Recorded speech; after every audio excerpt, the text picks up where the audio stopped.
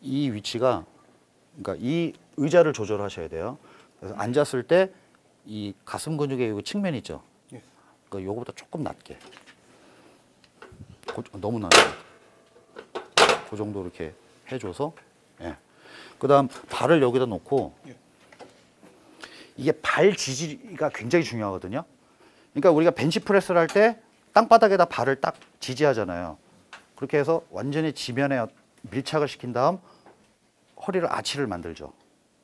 그것처럼 여기도 마찬가지로 이 발바닥을 잘 이용해야 돼요. 그래서 사- 저는 이제 여기다 발을 놓지 않고 이 측면에다 놔요. 측면에 놓은 다음에 여기를 벌려. 그 다음에 힙을 뒤로 밀어요. 그 다음에 이제 손잡이를 잡고 흉곽을 딱 올리는 거죠. 조금 더 좁게. 자, 그 다음에 앞으로 쭉 밀어보세요. 오케이. 근데 요게 이제 그, 이 plate load. 그러니까 제가 말하는 machine은 이런 케이블 machine을 말하는 게 아니야. 아시겠죠? 즉, 이런 원판을 껴서 사용하는 machine. plate load라고 그래요. 이 plate load의 특징이 뭐냐면 뒤로 쭉 하면 stop. 신전의 기능이 보이죠? 저절로. 그 다음 수축시키면 앞으로 모여지잖아. 아까 플랫 바벨에서 얻을 수 없는 가동 범위가 나온단 말이야. 이해가시겠죠? 그러니까 이러한 그 머신의 활용은 전 세계적인 앞으로의 트렌드야. 지금 이제 바- 이미 바뀌었어요. 그래서 그냥 머신은 뭐 근육 발달에 도움 안 됨. 이런 결론은 없어. 아시겠습니까? 자, 오히려 이게 더 안정적이고 누워서 하는 반복해 보세요. 누워서 하- 시- 진행하는 어떤 플랫 바벨 벤치 프레스보다 훨씬 더 가슴 열기도 좋고 그 다음 가동 범위도 최대 신전과 최대 수축이라고 하는 덤벨 프레스에서 나 얻을 수 있는 그런 가동 범위가 이 plate load 기구에서 나온단 말이야. 힘들어요? 어. 어, 계속 하세요. 음. 근데 이제 일반적인 우리가 이제 실수가 뭐냐. plate load를 하더라도 지금 이제 하시는 거 보면 밀어놓고 멈추잖아요. 그러니까 여기서 쥐어짜고 있는 어떤 그거. 그러면 손, 그 방법에 대한 그 손상률보다는 바로 신, 신장성 수축으로 바꿔주면서 통제를 하는 게 훨씬 더 손상률을 높이는 방법이라고 그랬죠. 그래서 여기서 밀어주고 밀고 하나, 둘, 셋, 밀고 하나, 둘, 셋, 밀고 하나, 둘, 셋, 밀고 하나, 둘, 셋. 그렇죠. 요런 방식. 그럼 텐던에 무리가 가 는 것처럼 보이지만 실질적으로는 즉각적으로 잠시 놓고 우리가 이제 이 근육에 위험이 닥치면 그 위험한 신호가 여기에 전달되겠지. 그땐 이미 늦은 거야. 그땐 이미 찢어져요. 그러니까 찢어지기 직전에 척수의 명령을 주는 거죠. 그래서 그 근방추와 건방추가 그래서 우리 몸에 존, 그 기관적으로 존재하고 그 기능을 원활히 수행하게끔 해줘요. 그래서 우리가 이걸 적극적으로 활용하는 어떤 방안이 바로 신전 상태를 최대로 하면서 빵 하고 밀으라고 그랬잖아. 아시겠죠? 근데 여기서 버텨버리면 안 돼. 즉각. 그래서 손상률을 자꾸 높이면 우리가 얻을 수 있는 초과 회복률은 자꾸 자꾸 올라간단 말이야. 이해가시겠죠?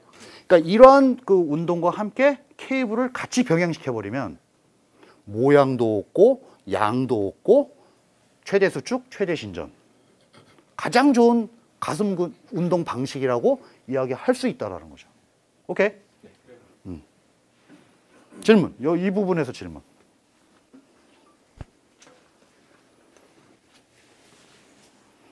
뭐 궁금하신 거 없어요? compound 세트로 같이 한다는 말씀이신 건가요? 아, 꼭 compound라고, 그러니까 compound의 어떤 의미를 여러분들이 이제 잘 어떻게 이제 복합 세트를 우리가 컴, compound 세트 이러잖아요. 그러니까 예를 들어서 이런 이유가 있어요. 바벨 벤치 프레스는 free weight죠. 근데 예를 들어 pec deck fly 이건 케이블 machine이잖아. 그러면 하나는 free weight고 하나는 케이블이야. 케이블 machine이야. 그러면 두 가지 운동은 완전히 성격이 다른 거예요. 그리고 더군다나 하나는 two joint 운동이고 하나는 one joint예요. 이거를 섞으면 완벽한 compound가 되죠. 이론적으로는 완벽한 compound가 돼요. 아시겠어요? 근데 내가 plate load 이 chest press하고 pec deck fly를 섞었다. 그래도 완벽하지. 왜 plate load라고 하는 어떤 그 이 machine 장비는 케이블 machine 장비와 비교해서는 안 돼. 그 접근 방식이 달라. 거의 free weight에 가까운 거예요. 오케이? 그러니까 이러한 방식을 우리가 compound라고 그러는데 가급적이면 여러분들이 compound 방식을 묶을 때는 2 플러스 1으로 묶는 게 제일 좋아요. 2 플러스 1 또는 1 플러스 2로 해도 돼. 왜냐면 뭐 운동을 하는 어떠한 그 부분에서 꼭 뭐 보디빌딩 방식 우리가 보디빌딩 배우려고 온 거니까. 그러니까 보디빌딩 방식에서 2 플러스 1. 근데 사실 우리가 훈련 루틴을 구성하는 가장 좋은 방식은 어려운 운동을 먼저 하고 쉬운 운동을 나중에 해야 우리가 페이스를 조절할 수 있잖아. 우리가 루틴을 다 소화시켜야 되잖아요. 내가 생각한 또는 내가 진행할 어떤 루틴이 있으면 1번 종목부터 6번 종목까지 내가 나열을 해놨으면 이거를 처음부터 끝까지 잘 지치지 않게 잘 수행을 해야 되는데 처음에 힘 다 빼놓고 어? 또는 힘을 빼놓고 그다음에 나중에 점점 점점 점점 어려운 종목으로 가면은 수행력이 떨어지지 장- 당연히 이해하시겠죠? 그러니까 처음에는 어려운 운동, 몸의 에너지가 충분하고 아까 이야기한 디스트로핀의 물질이 지지 단백질이 그 액틴을 잘 지지하고 있는 즉 견고한 근육 상태가 견고해 있을 때 힘든 걸 먼저 진행해서 조금 부시는 거지. 그다음에 점차적으로 계속 쉬운 종목 쪽으로 진행을 해야 나중에 많이 부셔지죠. 많이 부셔져야 초과 회복돼서 성장 가능성이 높아지는 거죠. 이 성장 가능성의 이 타이밍 때 어떤 음식, 단백질을 잘 보충해 주는 거죠. 오케이? 음. 또, 네, 말씀하세요. 하죠. 그러니까 우리가 소근육 같은 경우에는 two joint, one joint 이렇게 분류할 수가 없잖아요. 이두 운동에 two joint가 어디 있어? 이것만 계속 움직이는데 대신 양손을 동시에 하느냐, 한 손씩 하느냐, 또는 바벨 갖고 하느냐, 또는 preacher 벤치에서 덤벨을 갖고 하느냐. 오케이? 그러니까 또는 incline 벤치에서 저, 전에 왜 제가 incline 벤치 많이 추천했잖아요. incline 벤치에서 진행하는 어떤 그 덤벨 curl하고 또 concentration curl은 또 틀리잖아. 그러니까 요런 같은 one joint의 똑같은 curl 방식인데 고립도에 따라서 조금씩 그 차이를 보일 수가 있어요. 그다음에 그 타겟링하는 어떤 그 뭐 운동 방식에 약간의 차이가 있잖아. 그 차이점을 가지고 세트를 구성하는 거죠. 그러면 이제 compound 세트가 돼요. 음, 또. 그러니까 우리가 세트법을 구성할 때는 좀 그 고급스럽게 만들어야 돼. 그냥 막 예를 들어서 뭐 나 세트법 쓸래 그래갖고 flat 바벨 아니 chest press 진행하고 그 다음에 여기 가서 또 인클라인 또 해. 똑같이 투투면 삼두 가지 치는 거죠. 계속 미니까. 알겠습니까? 음. 근데 그런 방식은 좀 안 좋은 거지. 그러니까 안 하는 것보단 낫지 우선. 운동을 안 하는 것보단 나을 거야. 근데 문제는 이제 좀 진행하는 어떤 그- 거에 효율성이 좀 떨어진다 이렇게 뭐 이야기할 수 있다라는 거죠. 오케이. 음. 다음에 자 여기서 pec deck fly. 자 이쪽에서 지붕이 한번 해볼까? 응. 옷들이 옷들이 벗고. 응. 자 pec deck fly. 근데 이게 지금 중량이 이게 너무 가벼운 게 비키니 선수들이 하는 중량으로 지금 해놨는데. 자 이게 지금 이렇게 완 뒤로 가 있잖아요. 근데 pec deck fly 할 때는 이거 한 4번. 예. 사실 이거는 뭐 후면 어깨 운동도 할 수 있죠. 이 기구를 가지고 여기서는 이렇게 해서 음. 한쪽 잡고 양손을 동시에 잡으려고 하지 말고 이렇게 하면은 이제 이렇게 해서 이렇게 해주는 게 아, 이- 이왕 하는 거 좀 이렇게 뭐라고 할까 멋있게 해야 되잖아. 그래서 이거를 갖다 이렇게 이렇게 하면 좀 그래. 그러니까 한쪽 이렇게 딱 잡고 그다음에 한쪽 이렇게 딱 잡고 막 한 다음에 놀 때는 한쪽을 놓고 그다음 일었을 때 이걸 탁 잡으면서 이렇게 싹 이렇게 해야 아, 그래 좀 이게 좀 아 기구를 잘 활용하는구나. 그 동작이 멋있게 보여야 될 거 아닙니까? 예. 앞에 절 보지 말고 이제 앞에 보시고 이제 한번 해보세요. pec deck fly. fly 종목이니까. 자 여기서 이제 이거 별로 안 무겁죠? 무거워요?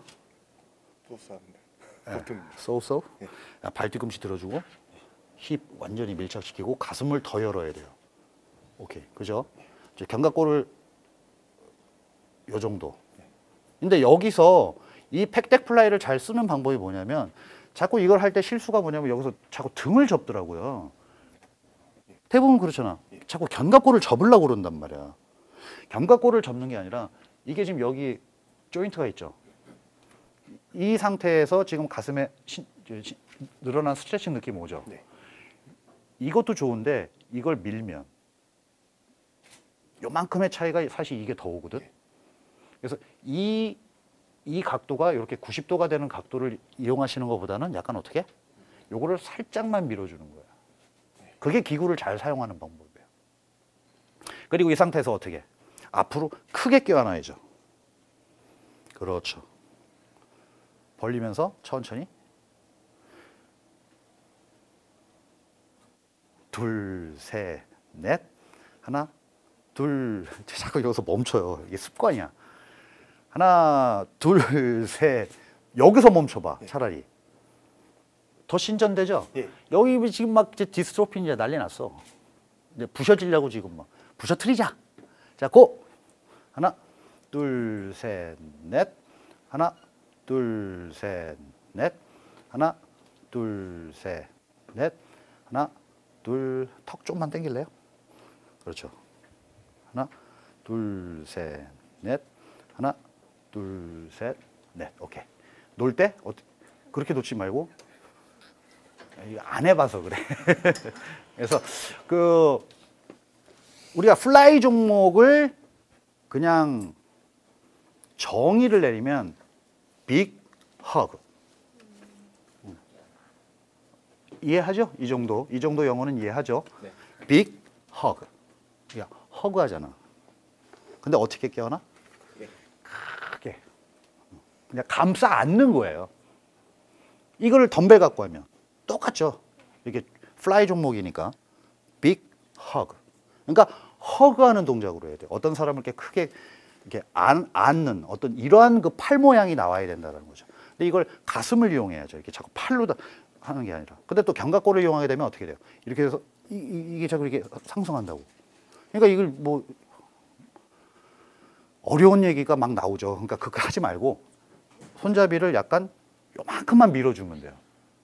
알겠습니까? 그다음에 쭉 펴서 신전 상태에서 잠시 정지하는 테크닉이 사실은 더 좋아요. 그래야 근육의 손상률을 높인다. 또 이게 케이블 machine이니까 free weight가 아니잖아요. 멈춰도 돼. 균형 통제가 다 돼 있잖아요. 그리고 이 기구만큼 가슴 근육의 고립도가 높은 장비가 어디 있어요? 우선 앉으니까 상, 상체 반동 전혀 못 쓰지. 네. 예? 상체 반동을 전혀 쓸 수가 없잖아. 네. 네. 그 다음 팔 이렇게 딱 해놓고 완전히 이렇게 해서 십자가 모양으로 딱 그냥 고정시켜 버리는 거 아니에요. 그럼 가슴 근육은 최대로 신전될 수밖에 없는 그 신전될 수밖에 없는 게 디자인이 돼 있어. 이해하시겠죠? 그러니까 요거를 이제 잘 활용하려면 조금 더 어떻게? 약간 팔꿈치를 밀어주는 거죠. 그러니까 이렇게 많이 벤트하는 어떤 이런 방식을 쓰는 게 아니라 거의 피면 필수록 사실은 좋은 거잖아. 피면 필수록. 근데 너무 피면 그, 그거 그 동작도 이상하지. 그렇잖아요. 그러니까 이걸 어떻게 해? 여기 약간만. 근데 내가 어깨 무리가 가지 않는 최대 범위로 펴서 가슴을 신전시키고 그다음 크게 껴안는 이 동작을 반복하는데 거기서 수축의 속도는 약간 빠르고 어떻게 신전의 속도를 느리게 그리고 어떤 그 최대 신전 지점에서 잠시 멈추면서 다시 천천히 다시 천천히 다시 이렇게 하게 되면 굉장히 정성스러운 fly 동작이 된다라는 거죠. 그렇게 해서 가슴의 손상률을 높여서 가슴 근육의 발달을 얻어야 된다. 이게 결론이에요. 아시겠습니까? 네. 자, 질문. pec deck fly. 네. 회원분들이나 트레이너분들 중에 오브를 춤추는 뭐, 안 좋죠. 그러니까 그 방식도 안, 아, 안 하는 것보단 나. 음, 안, 하, 그냥 가만히 숨쉬기 운동하는 것보단 그 방식도 좋은 거죠. 운동을 하는 거니까 어쨌든 숨쉬기 운동보다 낫지. 근데 이제 뭐 이렇게 아, 우선 보기가 안 좋잖아. 오케이? 예. 뭐 그냥 뭐 그건 그렇게 정리하고요. 또 아까 누구? 보통 저도 pec fly를 할 때 저희가 보통 이제 chest exercise를 하려면은 이 시- shoulder 쪽 여기 scapula 쪽을 이제 packing 시키는 게 굉장히 중요하다고 네. 얘기를 하는데요. 저 운동을 할 때는 이제 이렇게 감싸듯이 하다 보니까 packing이 풀어질 수 이렇게. 음. 예, 예. 그러니까 좀 더 이게 힙을 뒤로 밀고 다리 고정을 잘해야죠. 음. 그러니까 packing이라는 거는 왜 packing을 하면 빠지지 말라고 하는 거잖아. 빠지지 말라고. 근데 pec deck fly를 하면서 어깨가 빠질 일은 사실 없어. 왜냐면 위아래로 내리는 이 동작에서는 좀 그 가능성이 높죠. 우리가 생각을 해보면. 그래서 요 부분은 사실 이제 packing의 의미는 여기서 packing이죠. 네. 그 다음에 그대로. 그러니까 요 정도의 어떤 의미라고 보시면 돼요. 이걸 뭐 거기에 너무 포커스를 맞추면 또 동작도 이상해지고 자꾸 견갑골을 접는 어떤 이 동작이 나와서 나중에 이 손의 모양도 이상해지고 팔의 모양도 이상해져요. 그래서 가슴을 벌리고 가슴에 그 기시정지를 가장 길게 만들어서 롱 스트레칭 시키는 이런 그 신전의 포커스를 맞춰야지 자꾸 이제 다른 그 뭐 어차피 내가 이 동작을 취하게 되면 자연히 등은 접히게끔 돼 있어요. 근데 이제 물론 그 견갑골 사이에 있는 능형근의 어떤 유연성에 따라서 이게 또 움직이는 어떤 그 가동 범위가 또 달라질 수도 있죠. 이해하시겠죠? 그래서 이제 사실 우리가 항상 열심히 해야 되는 건 스트레치. 이 스트레칭이라는 게 또 중요하잖아요. 그래서 운동 전에 그다음에 사실 가장 좋은 거는 운동 끝나고 나서 스트레칭을 한 번 더 해주면 사실 그게 제일 좋은 건데 스트레칭 하다가 시간 다 가요. 근데 전 스트레칭 하는데 굉장히 시간 많이 투자해요.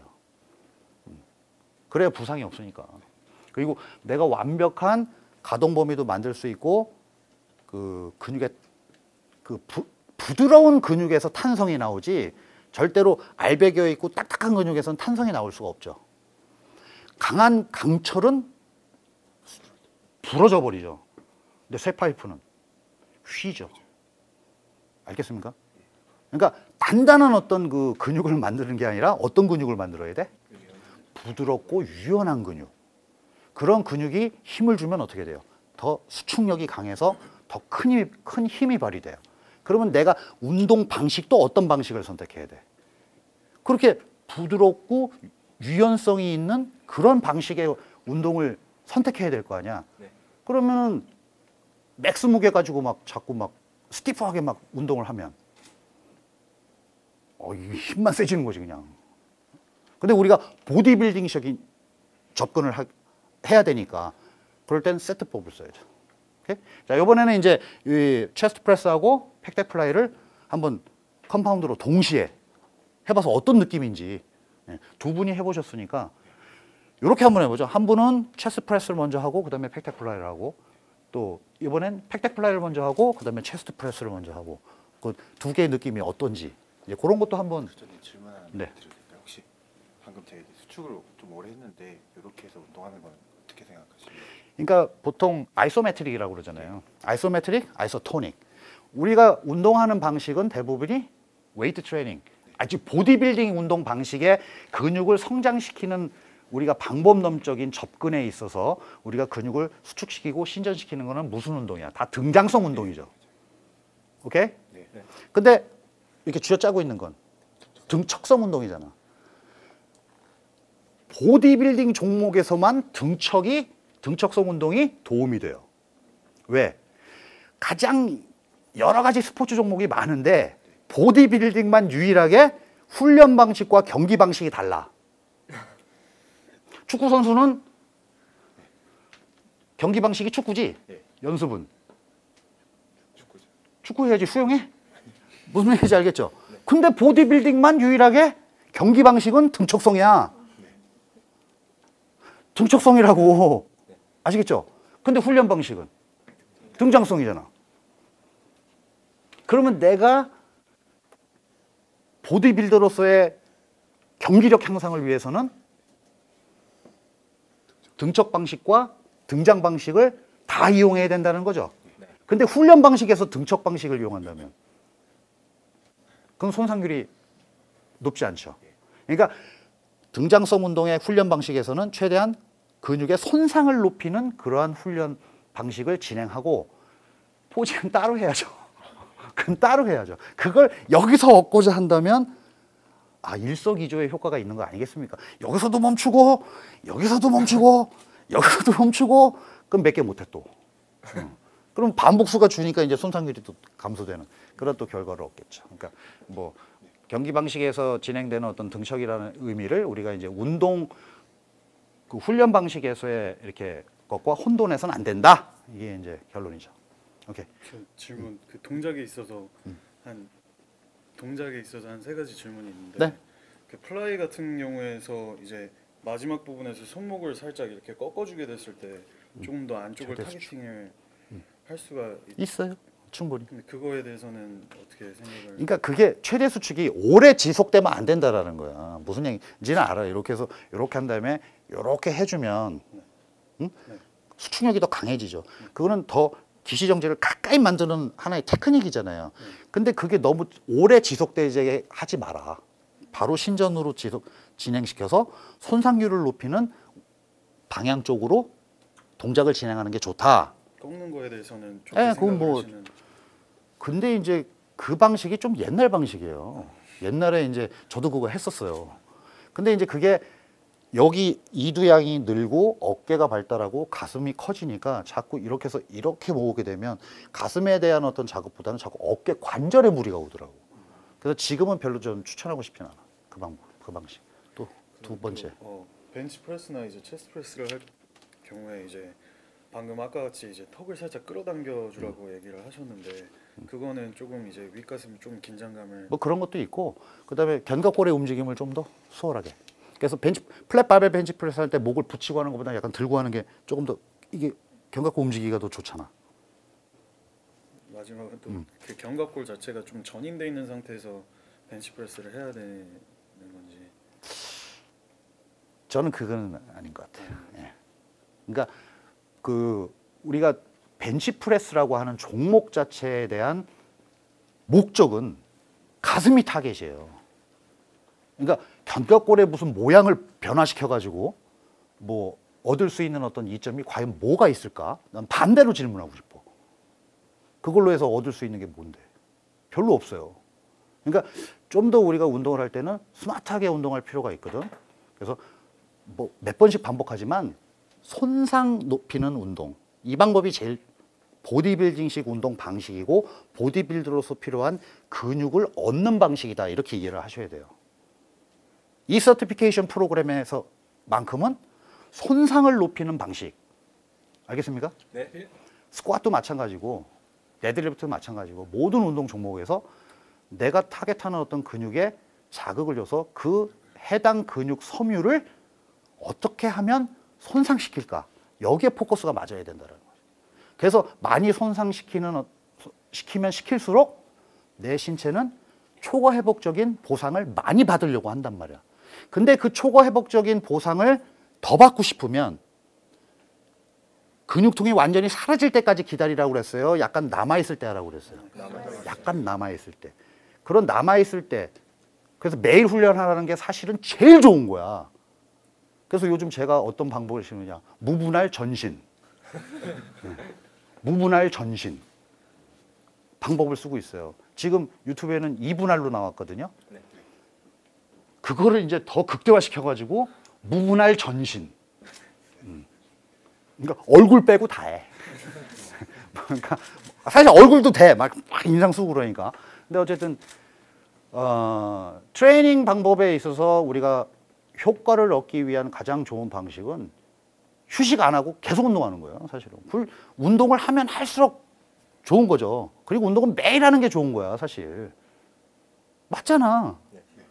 아니, 띄엄띄엄 하는 게 좋은가? 근데 아, 매일 하면 또 이게 휴식이 없어가지고 이게 너무 무리하는 거 아닙니까? 근데 그 매일 운동의 어떤 이 웨이트, 이 바디빌딩은 세트 사이에 휴식 시간이라는 게 있잖아요. 그러니까 유산소 운동은 한 시간 동안 안 쉬고 계속 하잖아요. 네. 때로는 뭐 인터벌로 해가지고 뭐 속도도 올리고 뭐 중간 속도로 했다가 또 뭐 느리게도 하고 또 빠르게도 하고 막 이러면서 막 변화를 주면서 막 진짜 드라마틱하게 하지 막 쫙. 근데 이제 이때 동원되는 어떤 우리 근육 타입의 그 부분을 살펴보면 사실 이제 우리 신체가 갖고 있는 근육에는 두 가지 타입이라는 게 있잖아요. 하나는 속근, 하나는 지근. 근데 보디빌더들은 지근적 경향이 높을까, 속근적 경향이 높을까? 반반? 역도 선수들은 굉장히 속근이죠. 네. 마라톤 선수는 굉장히 지근이죠. 근데 보디빌더가 저도 속근일 줄 알았어요. 근데 아니더라고. 논문을 살펴봤더니 지근적 경향이 높아요. 그렇다면 내가 근육의 손상률을 높이는 어떤 방식을 선택할 때 지근 지근이 가지고 있는 특징을 활용하는 그런 세트법이 사실은 더 발전에 도, 어, 근육을 얻는 데 더 도움이 되겠구나라는 결론을 얻은 거야. 그래서 compound set나 tri set 이런 걸 제가 자꾸 이용하게 된 거죠. 그러면서 이걸 좀 더 안전하게 할 수 있는 방법이 뭐 없을까?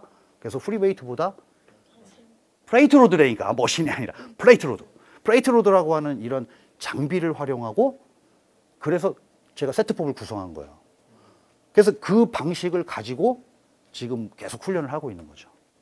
그러면서 이걸 좀 더 자주 하면 주별 운동 빈도를 높여라 그렇게 얘기했잖아요. 내가 매일 운동하는데 그 타겟 부위를 자주 훈련하면 더 많이 보상받을 수 있는 거 아니야. 네. 맞죠? 네. 그래서 이제 뭐 이분할도 진행해보고 또 전신도 한번 해보고 지금도 제 몸을 가지고 실험하고 있어요. 근데 이거를 정확하게 명확하게 규정 지을 수가 없어요. 제가 한, 혼자니까 저 한 명이잖아. 제가 한 100명 있어야지 똑같은 김준호가. 그래서 50명은 이런 방법, 50명은 이런 방법. 그 다음에 n이 너무 적어도 통계가 파워풀하게 안 나와. 음, 그러니까 쌍둥이 50명이어야 돼. 음, 제일 그러니까 인간을 대상으로 하는 어떤 실험이 가장 그래서 힘들어요. 그래서 뭐 이런 결과, 이런 결과, 이런 결과 뭐 이렇게 많이들 뭐 이렇게 근거 자료 이렇게 많이 갖고 오시잖아요. 근데 사실 이제 그런 통계학적인 어떤 그런 부분을 우리가 이렇게 논할 때 사실 그 디자인을 어떻게 했느냐에 따라서 약간 변화될 수가 있거든. 사실은. 그래서 그거를 그냥 이 검사자를 어떤 사람으로 대상으로 했느냐에 따라서 좀 차이점이 있을 수 있으니까 뭐 제가 이야기하는 게 조금은 그 보디빌딩적인 어떤 그런 부분이 굉장히 많다라고 보시고 그 보디빌딩 부분에서의 좀 그 의견으로 여러분들이 좀 생각해 주셨으면 좋겠어요. 아까 세 가지 좀다 하신 어, 네, 거죠? 다 했습니다. 그러면 빨리 이제 한번 그 세트법 한번 진행을 해볼게요. 이렇게 이렇게 하고 그다음에 이번엔 중량을 조금 올려서 한 두 장 정도 하고 여기 중량도 한 60으로 그 체격 조건이나 이렇게 그게 보면 충분히 할 가능성이 있어요. 지금 그 정도 근력은 갖고 있다라고 제가 판단이 되거든. 그 왜 보면 알잖아. 그죠? 예. 제가 운동 30년 구력인데 이렇게 눈으로 딱 보면 아, 그 체육관 정수기 물 좀 좀 많이 먹었네. 어, 어, 뭐 그런 거 있잖아. 네. 음. 자, 준비 시작. 하나, 둘, 셋. 아이, 야, 이게 왜 갑자기 짧아졌어. 더, 더 뒤로 가야 돼요. 하나, 둘, 셋. 둘, 둘, 셋. 셋, 둘, 셋. 넷. 다섯, 둘, 셋. 여섯. 아니, 너는 왜 해? 다음에, 다음에. 네, 기다렸다가. 몇 개 했어? 20개. 가볍다. 지금 몇 개야? 개수도 좀 세주고 그러지. 열일곱, 열여덟, 열아홉, 자, 스물, 오케이. 약간 느낌 오죠? 예. 아, 기구가 좋다는 거야? 느낌이 좋다는 거야? 자, 그 다음에 pec deck fly. 자, 한쪽 이렇게 잡아주시고, 자, 빅 허그. 약간 이렇게 배운 대로 하나, 둘, 땅, 스탑. 여기 아까 그- 이게, 이게 견갑골 접는 거 아니야? 아니 가- 그대로 그대로 있어요. 약간 앞으로. 요 상태에서 요것만 이렇게 밀어주면 가슴 땡기지. 예, 거기까지 갈 필요 없어. 여기까지. 자, 고. 견갑골 딱 접히기 전에 땅 하나, 둘, 셋. 하나, 둘, 셋. 팔 펴. 팔꿈치 약간만 펴. 앞에 보고 앞에 보고. 견갑골 또 접힌다. 팔꿈치를 약간 펴주면서 뭐 크게 크게 크게 크게 견갑골 접지 말고 이게 무거운가 보다. 고! 둘, 셋. 오케이, 됐습니다. 천천히. 자, 아까 동작을 좀, 좀 비교를 해봐야 돼요. 자. Stop. 그렇지. 했을 때 아까 굉장히 견갑골이 많이 접혔었단 말이야. 내가 원하는 건 이, 이 방법이었었거든. Go! 하나, 둘, 셋, 넷. 하나, 둘, 셋, 넷. 하나, 둘, 그렇죠. 다섯, 둘, 셋, 넷, 여섯, 일곱, 여섯이야? 일곱, 둘, 셋, 넷.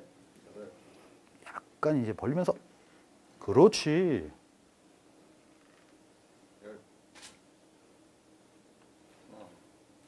스무 개. 8에서 12회 하라며요, 또. 왜 20개 해요? 괜찮아요. 좀 많이 해도 돼. 꼭 8에서 12. 그러지 말고.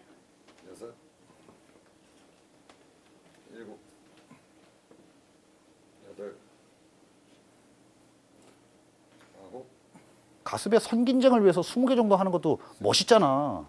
자, 그게, 어, 오케이. 벌써 표정이 왜 그래요? 아 행복합니다. 네. 그 다음에 이제 체스트 프레스.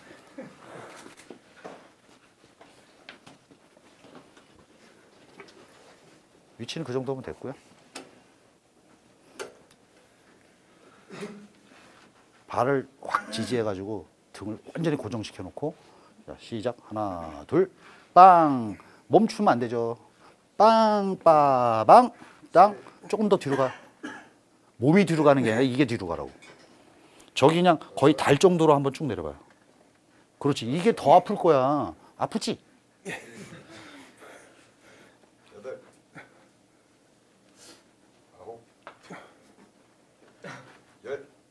마음속으로 그럴 거야. 평상시에 나 아- 이러지 않았는데 뭐 이런 생각이 좀 드는 것 같아요. 열둘이지? 열셋? 열다섯 개? 넷, 하나 더? 아, 마지막 한 개만. 여기서 멈춰. 고! 그렇지. 오케이. 응. 뭐 소감이 어때요? 여기도 거친 숨을 막 이게 이럴 수밖에 없어요. 근데 이제 요 상태에서 자 여기서 이제 중요한 게 하나 있습니다. 우리가 세트 사이에 휴식 시간을 얼마나 가질 것이냐 이거 중요하죠. 네? 네, 세트 사이의 휴식을 어 저는 3분 쉬는 게 좋아요. 어떤 사람 2분 쉬는 게 좋아요. 어떤 사람 1분 쉬는 게 좋아요. 어떤 사람 30초 쉰대. 그리고 이렇게 이런 거 켜놓고 30초를 딱 쉬고 30초 후에 또 들어가. 야 대단해. 근데 이제 그러한 것을 연구한 자료가 있더라고요. 그래서 이제 이렇게 쭉 비교를 해봤더니 이제 아주 고강도의 훈련을 하는 집단을 이제 두 집단으로 나눠가지고 한 집단은 1분 쉬는 집단이고 하나는 2분 30초 정도 쉬는 집단으로 이렇게 나눠서 그 실험을 진행했어요. 사람을 대상으로 한 거야. 음, 하여튼 멋진 실험이죠. 참 그 기획도 잘, 잘 돼야 되지만 디자인도 잘 돼야 되고 그래서 이제 뭐 여러 가지 호르몬, 그러니까 혈액을 이렇게 채취를 해서 그 혈액 속의 변화를 본 거예요. 그래서 처음에 그대 그, 그 집단을 12주간 관찰을 했어요. 12주. 그러면 어느 정도 N수도 10명, 10명 정도. 그 다음 기간은 12주. 그 다음에 혈액 샘플을 채취했고 같은 운동 방식을 진행하면서 휴식 시간에 차이를 뒀단 말이야. 그러면 디자인이 굉장히 잘 된 거죠. 오케이? 그러면서 이제 호르몬에 어떤 호르몬을 받느냐? 뭐 동화성 호르몬과 피로. 우리가 피로의 가장 대피, 대표적인 거는 콜티졸. 예? 스트레스 호르몬이니까. 우리가 운동할 때 콜티졸 많이 분비될 거 아니에요. 그래서 이제 이렇게 비교해 보니까 뭐 동화성 호르몬 부분에 대한 차이는 그렇게 많이 보이지가 않았는데 1분 처음 4주 기간 동안에는 처음 1분을 쉬는 이쪽 집단이 훨씬 더 피로적인 레벨이 높더라. 오케이? 그래서 8주, 그 다음에 12주, 이렇게 후반으로 가니까 나중엔 거의 비슷해지더라라는 거예요. 왜? 그게 어떤 결론을 우리가 여기서 내었느냐? 바로 적응, 아댑테이션이라는 거. 적응. 우리 몸은 적응이라고 하는 능력을 갖고 있어요. 막 이렇게 하면 처음에는 막 운동하면 힘들고 어렵고 뭐 낯설고 뭐 그렇잖아요. 근데 계속 반복하고 시간이 지나면 점차적으로 적응하죠. 그래서 그 환경에 우리가 자꾸 맞춰가잖아. 나중에 맞추어지잖아요. 훈련도 마찬가지예요. 그래서 1분 쉬는 거, 2분 30초 쉬는 거 큰 차이가 12주에서는 발견되지 못했다라는 게 결론이에요. 그렇다면 1분 쉬어도 되고 2분 30초 쉬어도 되네 그 얘기잖아요. 근데 보디빌딩은 근육 성장을 목표로 하는 거잖아. 근육을 발달시키고자 하는 목, 목표잖아요. 그럼 1분 그렇게 짧게 쉬는 것보다는 저 같으면 2분 30초 정도 좀 긴 텀을 선택을 해서 충분히 휴식하고 더 폭발적으로 하겠어. 세트 사 세트 하나하나를. 이해가시겠죠? 네. 그래서 꼭 2분 30초 쉬라는 게 아니야. 아시겠습니까? 네. 2분 30초 쉬래매요. 또그 이러지 말고. 알겠죠? 네. 어, 그럼 1분 쉬어도 되는 거예요? 맞아요. 근데 이제 적응 단계에 가면 그 2분 30초의 단계나 휴식을, 세트 사이에 휴식을 취하는 거나 1분 정도 휴식을 취하는 거에 차이점이 발견되지 않으니까 차라리 가장 좋은 건 차라리 좀 길게 쉬고 완전히 회복한 다음에 폭발적으로 매 세트를 진행하는 것이 훨씬 더 근육의 손상률을 높이는. 근데 자기 능력이 좀 더 좋아졌다 그러면 꼭 2분 30초라고 하는 걸 지키는 것이 아니라 그보다 좀 더 짧게 자꾸 휴식 시간을 줄여나가려는. 그래서 우리가 트레이닝을 좀 이렇게 기록하는 습관도 좀 필요로 해요. 그래서 제가 예전에 아, 기록했던 게 뭐냐면 처음 운동을 시작할 때 스톱워치를 탁 눌러요. 그다음에 마지막 운동이 종료되는 순간 탁 그래서 그 시간을 적어놔요. 그러면 내가 그 다음에 똑같은 그 운동 방식을 진행할 때 그 전에 진행했었던 그 소요된 시간보다 내가 그 시- 소요 시간을 줄이려는 노력이 결국은 트레이닝 볼륨, 훈련 양을 높이는 방식이잖아. 전체 훈련 프로그램을 소화시키는데 30초가 줄었다. 이건 엄청나게 준 거예요. 안 그래요? 야, 30초면 마라톤에서 30초면 얼마나 차이 나니? 엄청 차이 나요. 그렇잖아. 30초 차이면. 이해가시죠? 그것처럼 전체 훈련 그 프로그램에 근데 근데 컨디션이 좋을 때는 진짜 그렇게 줄더라고요. 아, 나도 아직 늙지 않았구나. 어, 그런 생각을 그 갖게 해주는 그런 결과였어요. 그래서 이렇게 기록하는 어떤 이런 것도 어, 좋은 하나의 방식이다. 뭐 이렇게 이야기하고 싶습니다.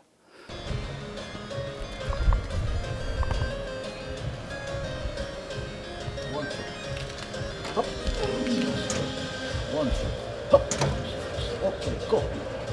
Oh!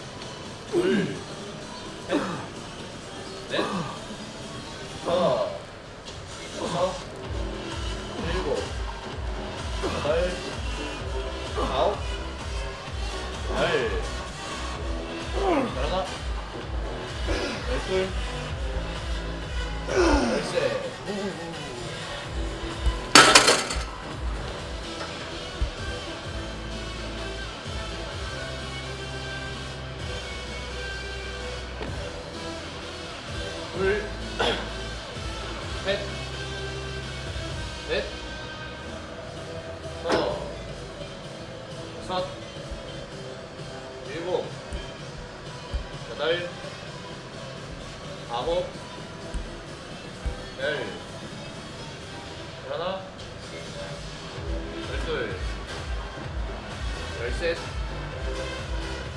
넷, 네, 다섯, 여섯,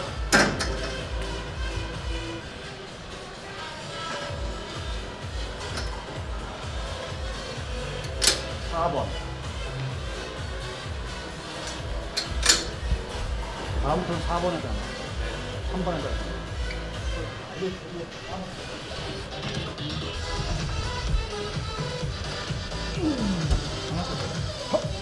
Okay.